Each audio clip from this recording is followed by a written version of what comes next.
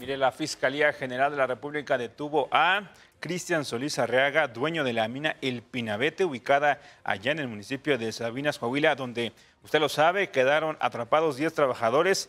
El imputado presuntamente explotaba de manera ilícita el bien perteneciente a la nación. Tras la audiencia inicial, el juez determinó como medida cautelar prisión preventiva que deberá cumplir en el Centro Federal de Readaptación Social número 18, allá en Ramos Arispe, en Coahuila.